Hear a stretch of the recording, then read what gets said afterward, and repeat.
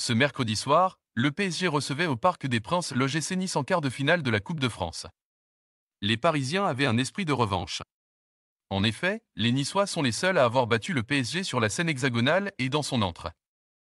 Ce soir, les Parisiens ont réalisé une très belle performance et se sont qualifiés pour les demi-finales de la Coupe de France. Si les Niçois ont fait douter le club de la capitale pendant les dix dernières minutes de la première mi-temps, ils n'ont pas réussi à faire basculer la rencontre en leur faveur. Francesco Farioli, le coach niçois, a tenu à féliciter le PSG et Luis Enrique.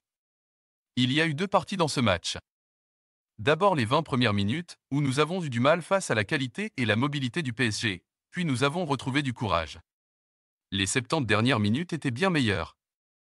Il aurait pu y avoir 4 à 4, il y a eu tellement d'occasions, lance le coach niçois en conférence de presse dans des propos relayés par l'équipe. Nous avons pu construire, nous avons récupéré le ballon plus haut. C'était un bon match pour le foot français. Nous sommes fiers de notre match. Paris a fait un match comme lorsque nous sommes venus ici en septembre dernier. Leur qualité de passe.